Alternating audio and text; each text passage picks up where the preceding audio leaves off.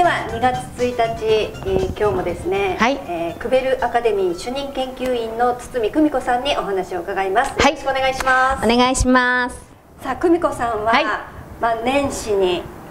新年創作の会を毎年開催されますが、はい、それがすべて3回開催終わりまして、はい、あ本当ねゆきさんも本当にありがとうございました。ありがとうございました。でまあ、テーマが出て、はい、それを皆さん聞いて、はい、それをもとに、はい、さあ2月1日から、うん、2月4日からかな？正式には、うん、一瞬ですもんね、そうですね。久美子さんもやっぱり、その2月4日っていうのを新たなスタートっていうふうにされてるんですか、うんあんまりしてない。あ のいつも新しく。なんとなくいつもスタート今年のスタート2月からのスタート、はい、3月は3月のなんか締めみたいな感じですよね。年度末みたいな。で4月からスタートみたいなまた。スタートがいっぱいあるって感じです。そうそういうスタートがある時って、はい、なんかこう気持ちの切り替えとか何かされるんですか？あのやっぱり手帳にその月のテーマを創作しながらやるので、はい、そういう意味で今月はここに重点を置くとか、うん、今月はこういうふうにしたいとか、うん、そんなふうには創作します。あ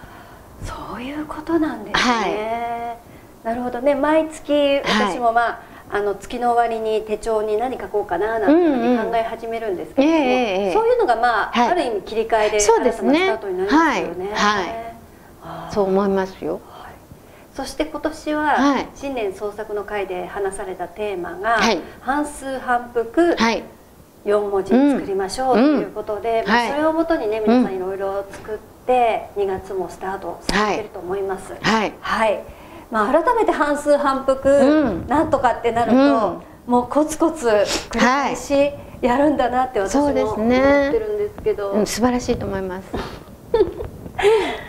なんかあのまあいつもこう繰り返しというかしっかり自分の目の前のことをやりなさいみたいなメッセージは、はい、久美子さんから感じるんですが、はい、今回のその半数反復なんとかって4文字で何かを作るっていうことに関しては、はい、さらに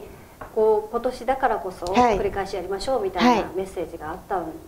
す、そうですね。あの最も重要なポイントは、うん、やっぱり追憶と反復の区別を明確にする反復であるっていう、うん、どうしても半数反復っていうと何か繰り返し繰り返しのその何て言うのかな特に半数はあまりいい言葉としては使われてないし、うん、あの心理学の世界だったりカウンセリングをする時にあまり半数する癖をあの取り除かなければならないとかね、うん、半数っていう言葉ってあまりポジティブな言葉で使わないんですよね、うん。うんはい、でも牛にとっての半数は私たちにとっての食事と同じように味わってちゃんとかよく噛んで血肉にしていくっていうあの工程が結局前向き半数ですよね、うん、ですから反復も前向き反復っていうか本当に過去に向かって追憶していく追憶なんじゃなくって今を生きることが未来につながる反復、うん、本来の反復ってそうなんじゃないかなと、うん、しかもキルケゴールの反復をあのなんていうんですかね区別として採用させていただいたので結局現存在というか可能体として今ここにいるっていうえーと、去年の10月31日とかその前にお話しさせていただいたあのプレゼンスの持続性ともリンクしてきますので、うん、本当に反復は今今今を生きて、その先に目標達成とか目的になんて向かってるというか、うん、だから前向き追憶。前向き追憶。それを反復という、うん、それがまとめとして掴んでいただくと、何を反数し何を反復することによってどんな人生を描くかっていうデザインができると思うのでその4文字がデザインの言葉になってくれると嬉しいかなと思います。なるほどです、はい、はい、もう今の言葉でね、かなりこう新年創作の会で話された内容のまとめになっているとは思うんですけれども、そうなっていただければこのラジオを聞いていただいたね、うん、人に会があるかなとは思いますし、ね、初めて聞く人も、うん、あそうなんだって思っていただければね、うんありがたいですね。はい。まあ初めて聞く方はいわゆるねあの映像で久美子さんはね、うん、あの説明されたりするところもありましたので。はいはいはい。そういうのがないからちょっとね、はい、耳だけでは分かりにくいという方もいらっしゃると思いますが、はい、まあ、そういう方には今後、あのこの間の新年創作の会の映像が DVD で発売される予定ですので、えっと、あの DVD の形なのか何でしたっけ、なんか動画配信なるほどなるほど、はい、の形は確実なので、もう買えますね。うん、でそのなんかね、うん、えっ、と特典があるはずなんですよ。もうそんな話も進んでるんですか？あの、ね、今おっしゃってくださったように、はい、あそこで見せたあのパワポがあるじゃないですか。はい、あのパワポのどうあのパワポをつけようと。ほうほうほうあの絵を。ええええ。もう何枚も何枚もパワポで20枚近くあったんですよ。そうそう、はい、あれをプレゼント。おおあそれは嬉しいと思いますそうでしょ？メモ書ききれなかったと思うんですよ。はい。確かに。なので、聞いてることに集中してると次から次と言っちゃったりとか、うん、なかなかね牛の絵描いてる時に違う言葉入ってきてあったりとか したと思うのでね、うんうんでほら一番目の胃の名前とか書いてるうちに違う話になっていくからね。そうですよね。そう、はい、蜂の巣って何番目だっけとかなっていくでしょ？はいはいはい。っていうのを思うとやっぱりそのね皆さんにこの機会に買っていただいた人のみは、あれをプレゼントしようかなっていう。おお素晴らしい、はい、はい、そして今年は新年創作の会3回あったんですが、はい、まあ、3回ね全部参加された方もいらっしゃると思うんですけれども、うん、1回だけじゃなかなかね落とし込めないという方は、はい、そういう映像動画を購入いただいて、ね、何度も見ていただく、まさに、はい、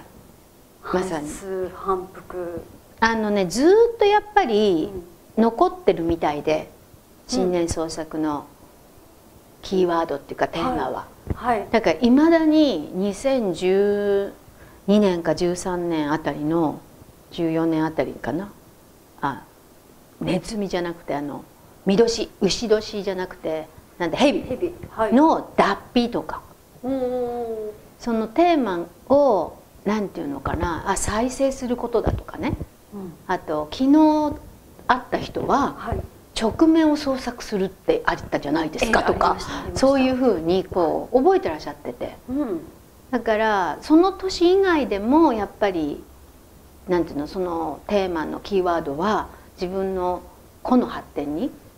お役に立っててるような、うんうん、そんなような会話が昨今耳にします。あということは、はい、まあね半数反復何々っていうのは今年のテーマ、はい、でえーと、確か2019年のテーマが直面する、はい、だったと思うんですけれども、直面創作するでした、うん。はい、私もそれはね参加させていただいて、直面するっていうのを創作したのを覚えてるんですが、はい、それは別に今年またあそういえば直面するってテーマあったなって、うん、それを自分のテーマにさらに加えてもいいかなっていうことも可能ということですか、それからその江戸時代の話ですからねネズミの話は四十八着の色の話は。うん。それをそれこそ追憶したわけですよ。反復したわけです、うん、江戸時代にあった、はい、あの写真禁止令っていうところから出てきた四十八着の色を、うん、今この現代に150年かけてプレゼンスをしたわけですよ。あのそのネズミの色の話は昨年そうですそうです。枠の中で生きを生きるっていう話の中でのそう生きのところで、うん。きの構造に行ったじゃないですか。うん、できの構造っていう久喜修造さんっていう人ももうずいぶん前にお亡くなりになってるわけですから、うん、そういうふうに見てみると全部反復なんですよ。そっか今までの過去何年も半数反復ってっていうテーマはもしかしたら、はい、裏テーマじゃないですけれどもあったかもしれない。そういうふうに今年当てはめられますよねってことなんですよね。うん、でもその追憶するんじゃなくてそう。それをそう今から未来に向けて反復するっていう、っていう追憶ですね。なかなかねその反復だけど追憶でしかも今でってなると、うん、その時間軸がなかなか分かりにくいかもしれませんが、うん、えー、その今っていうことに関しては、はい、プレゼンスという言葉を先ほどもちらっとおっしゃいましたが、はい、10月31日のイベントで、はい、あのしっかりとお話にはい。多分9月かな。どっちか忘れちゃったけど、うん、はい、9月だったかもしれません。9月でした、はい、失礼しました。はい、はい、でその時にまあ今プレゼンスっていうためにいくつかの質問を自分に、ね、はいはいはい、したらいいですよっておっしゃってましたね。はい、はい。えっと何でしたっけ？忘れちゃいましたけどね。えっと今私は誰ですか、はい、そうそうそう。私は何をしてますかとか。そうそうそう、はい。その瞬間瞬間に自分でそれを問うっていうことがプレゼンスである。はい。でじゃあその追憶にならないために、はい、そういう問いを半数反復するためにも、うん、日々自分たちはした方がいいっていうことなんですよね。うんうんで結局追憶をするとあの時こうだったじゃないっていうの追憶ですよね、はい、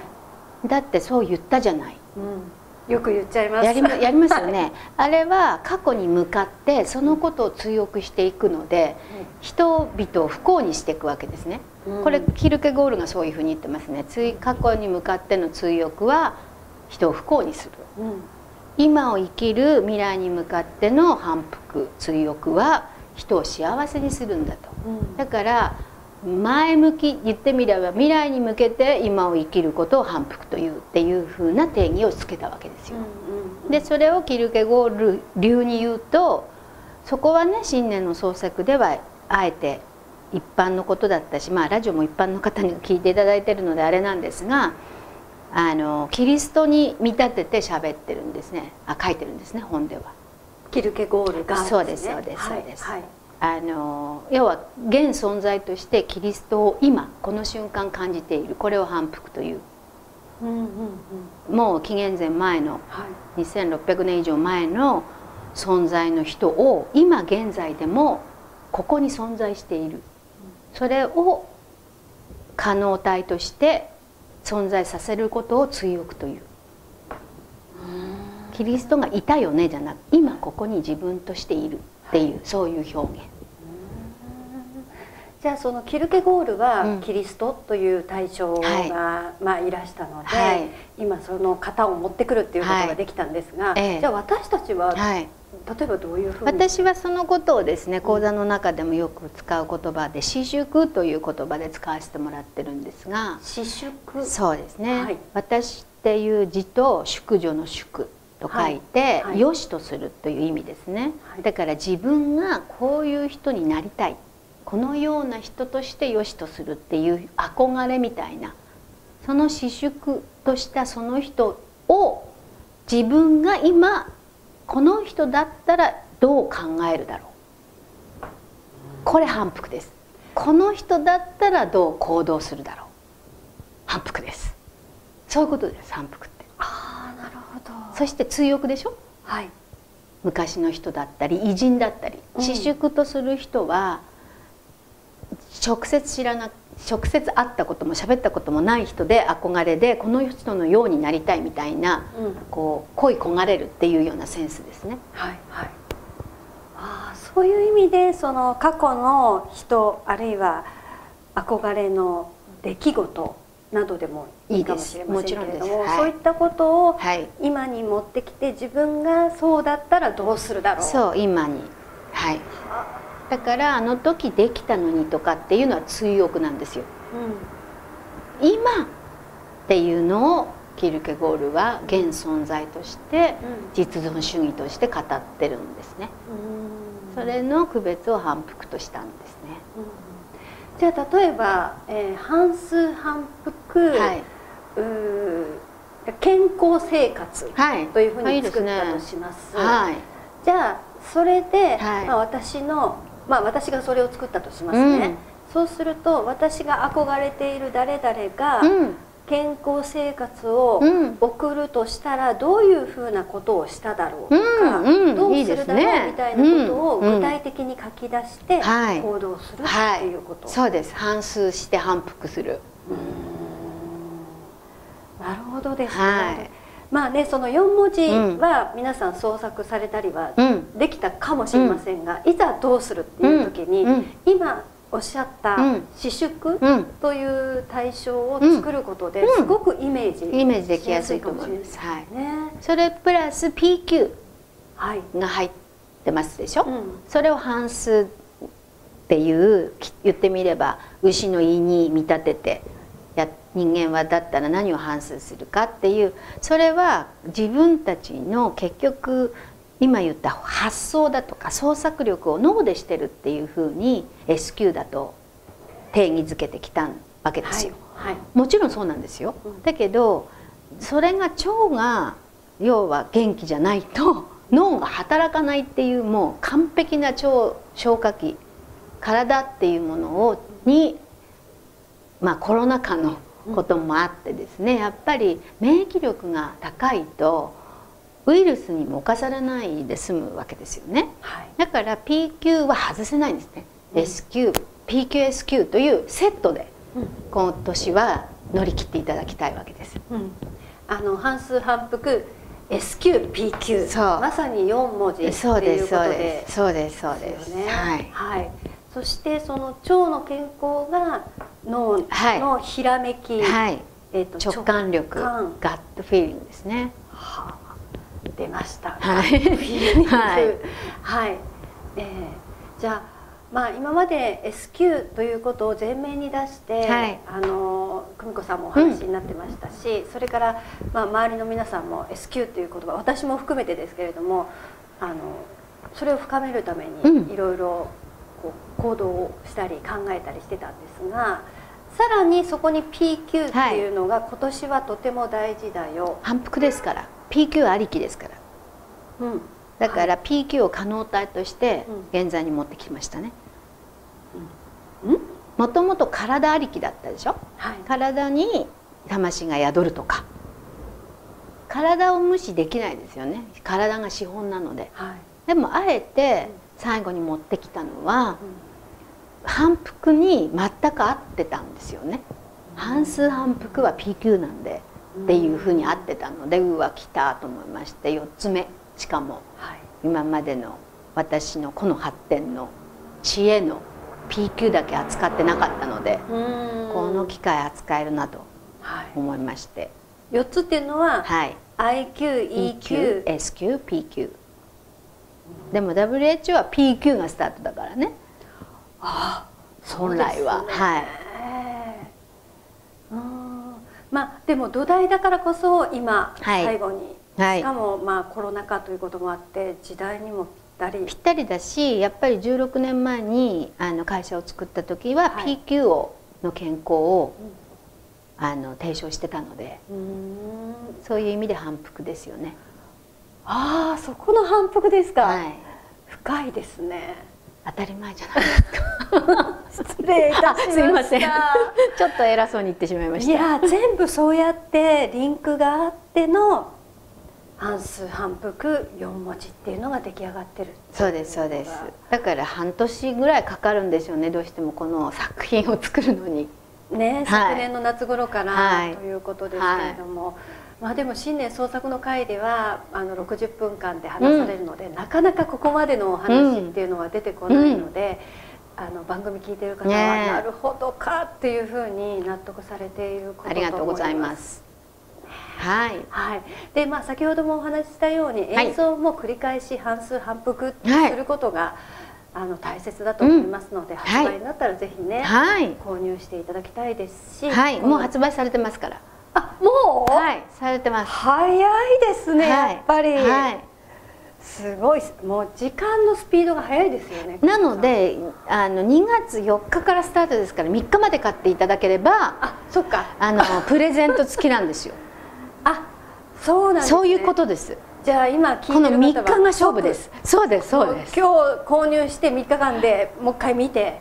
いや見るのは先でいいんですけど 買うのが今なんです。特典が4日までですからですねはい。なるほど。わ、はい、かりました。皆さんよろしくお願いいたします。よろしくお願いします、はい、ということで今日はですね、はい、堤久美子さんに新年創作のテーマに関して、はい、さらに深くお話を伺いました。ありがとうございました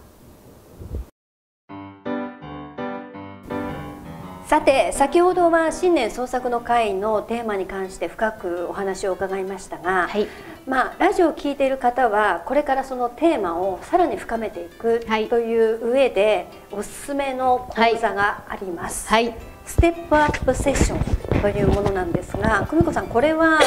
あのステップアップするという言葉は分かるんですけれどもはい、どうなんでしょうね。その新年創作の会のテーマを聞いて、それを創作された方は、はい、これに参加すると何ができる、えー、っと、うん、行動に移す具体的な、はい、あのプロジェクトを作りたい人は作れるでしょうし、うん、あと他の人のほら聞くと刺激反応いい化学反応みたいのが起きるので、はい、新しい発想が湧くんじゃないですか？4文字も8文字も12文字も。あなるほど。これはそのセッションに参加された皆さんで、うん、あるいはグループで、うん、えそれぞれのテーマについて話したり何かするというあの私じゃないファシリテーターというか講師がいるので、うんはい、その人はもうそれこそ